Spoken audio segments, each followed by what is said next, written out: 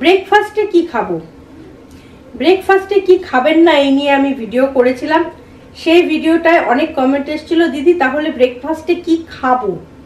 আমি বলেছিলাম তাদেরকে যে নিশ্চয়ই বলব যে কি কি খাওয়া উচিত। আজকে তাদের কথা মতোই এই ভিডিওটা করছি যে ব্রেকফাস্টে আমরা কি কি অবশ্যই খাব বা ব্রেকফাস্টের তালিকায় কোন কোন খাবার রাখা উচিত। বলব, কিন্তু তার আগে আপনার সঙ্গে পরিচয়টা করে নিই। নমস্কার, আমি গৈরিকা। কলকাতা ক্যাম্পাসে আপনাকে স্বাগত জানাই। আপনি যদি এই পরিবারের একজন এখনও না হয়ে থাকেন, তাহলে প্লিজ সাবস্ক্রাইব করে নিন কলকাতা ক্যানভাস পাশেই বেল আইকন রয়েছে। প্রেস করে অন করে নিন, তাহলে নতুন ভিডিও আপলোড হওয়ার সঙ্গে সঙ্গেই নোটিফিকেশন পৌঁছে যাবে আপনার কাছে। এবার বলি ব্রেকফাস্টের তালিকায় আমরা কি কি রাখব আমরা অনেকেই দেখি সিনেমাতে বা যে কোনো জায়গায় একটু দেখি যে প্লেটে করে ব্রেড থাকে বাটার দেওয়া ব্রেড থাকে, ডিম সেদ্ধ থাকে অথবা পোচ থাকে অথবা কলা থাকে। ডিমটা কেন থাকে? ডিমে প্রোটিন থাকে প্রচুর পরিমাণে এবং ওমেগা থ্রি ফ্যাট থাকে যেটা আমাদের শরীরের পক্ষে ভীষণ উপকারী। ফলে সকালে উঠে অবশ্যই আপনি একটা ডিম সেদ্ধ হোক, পোঁচ হোক, যেভাবে হোক ডিম কিন্তু অবশ্যই খান, বা হাফ বয়েল হোক, ডিম সেদ্ধ কিন্তু আপনি খেতেই পারেন।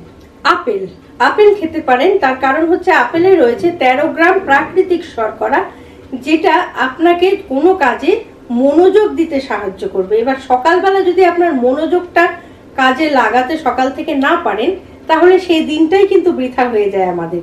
তাই এমন কোনো খাদ্য আমাদের খাওয়া উচিত যাতে আমাদের কাজে মনোযোগ দিতে পারি আমরা এবং এনার্জি গেন করতে পারি। এনার্জি গেন করার জন্য প্রথমেই বললাম ডিম খান আর আপেলটা খান যাতে আপনি কাজটা মনোযোগ দিয়ে করতে পারেন।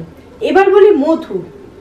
মধু যদি আপনি কয়েক চামচ খালি পেটে খেতে পারেন, তাহলে কিন্তু আপনার কর্মব্যস্ত যে জীবন, সেটা ভীষণভাবে সার্থক হবে, কারণ আপনাকে এনার্জি দেবে।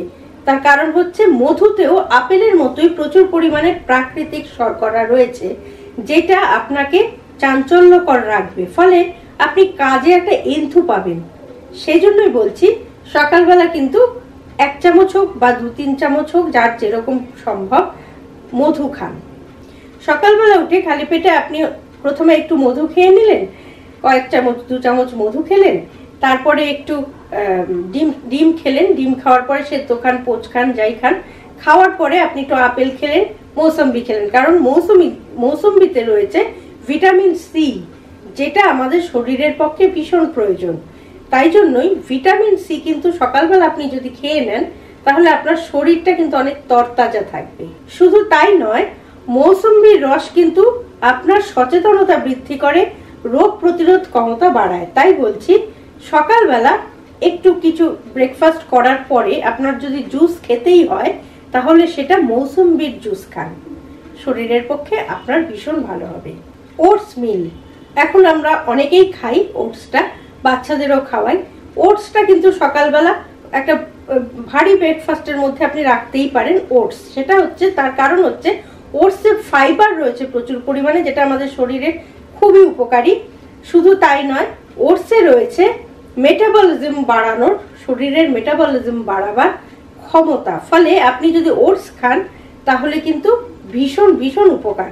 তাই প্রত্যেক দিন সকালবেলা উঠে একটু ওটস নিলেন, যে যতটা পারেন হাফ বাটি, এক বাটি, যতটা পারেন একটু ওটস নিলেন, তার সঙ্গে একটা ডিম সেদ্ধ খেলেন, তার সঙ্গে একটা আপেল খেলেন, সবশেষে মৌসম্বির এক গ্লাস ভর্তি জুস খেলেন। এটা যদি ব্রেকফাস্ট করতে পারেন, শরীরের পক্ষে ভীষণ উপকারী হবে।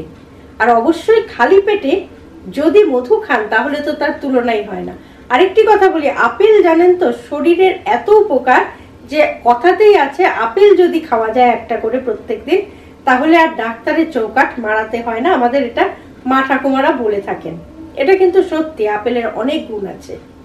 তাই এইভাবে যদি আপনার ব্রেকফাস্ট আপনি সাজান, তাহলে আশা করি আপনার শরীর কিন্তু ভালো থাকবে। আশা করি যাদের মনে এই প্রশ্নটা ছিল যে সকালবেলা দিদি তাহলে কি খাব ব্রেকফাস্টে তারা উত্তর পেয়ে গেছেন এবং যাদের ছিল না তারাও জেনে নিলেন যে কোনটা খাওয়া সকালবেলা উচিত। আজকের ভিডিওটা যদি ভালো লাগে লাইক করবেন শেয়ার করবেন কমেন্ট বক্সে অবশ্যই কমেন্ট দেবেন। আর আপনি যদি এই পরিবারের একজন এখনও না হয়ে থাকেন, তাহলে প্লিজ সাবস্ক্রাইব করে নিন কলকাতা ক্যানভাস পাশেই বেল আইকন রয়েছে প্রেস করে অন করে নিন। তাহলে নতুন ভিডিও আপলোড হওয়ার সঙ্গে সঙ্গে নোটিফিকেশন পৌঁছে যাবে আপনার কাছে। ভালো থাকুন, সুস্থ থাকুন। ব্রেকফাস্টের তালিকা তো দিয়েই দিলাম। সেই মতো নিয়ম মেনে নিজেকে সুস্থ রাখুন। আর সঙ্গে অবশ্যই রাখুন আপনার প্রিয় পরিবার কলকাতা ক্যানভাসকে। নমস্কার।